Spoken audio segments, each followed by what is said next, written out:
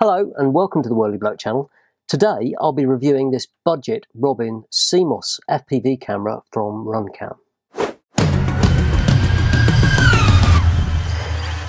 The Runcam Robin is a very cheap FPV camera at around £20 or $25. So it's quite a bit cheaper than Runcam's other offerings and to be honest quite a bit cheaper than most of the competition. And they've done this by stripping out the stuff most of us don't really need, like on-screen display and so on. Basically, most Betaflight controllers do all this for us, so having it built into the camera isn't really necessary. And this is built to the same quality as other Runcam cameras. It's got an ABS body on it, and you can get that in Runcam orange or black like this one. And you can choose between a 1.8 and a 2.1mm angle lens and this one on here is the 2.1 millimeter lens. And it weighs well let's have a look see if I can get that in the camera. It's around five and a half 5.6 grams which is pretty good. And it was designed to have super low latency around 6 milliseconds and a wide dynamic range that's better even than the Runcam Eagle which is surprising you've got 120 dB of range. And it's basically a small 19 millimeter wide camera, but Runcam provide this adapter bracket and some M2 bolts, so you can fit it into a full size quad. You just screw that on there, and then you've got a full width body. But this will easily fit into 2 inch and 3 inch quads without the adapter.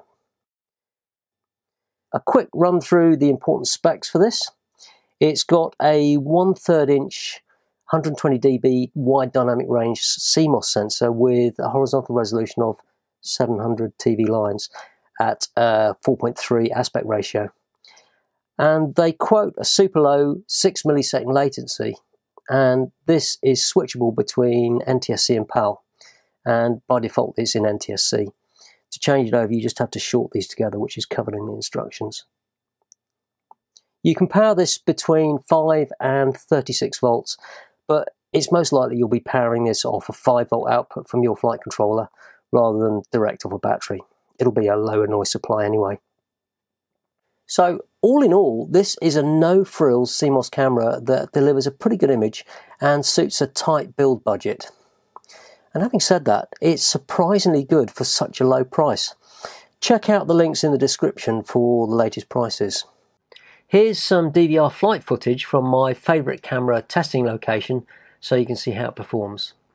And because it's the UK, it was overcast and I was dodging rain showers all day. And you'll see a few spots on the lens. And this 120 dB of dynamic range makes flying in and out of shadows and under the trees a doddle and you'll see it handles light to dark changes really well and didn't give me any problems even after I clobbered a ghost branch. The colours aren't too saturated but enough to give a really nice punchy image although there's a magenta tinge that's only really noticeable on the sky and the clouds.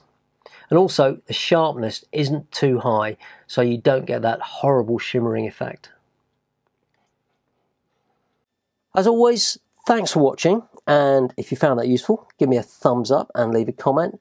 And if it's your first visit, then please consider subscribing to the channel for updates. I'll see you next time.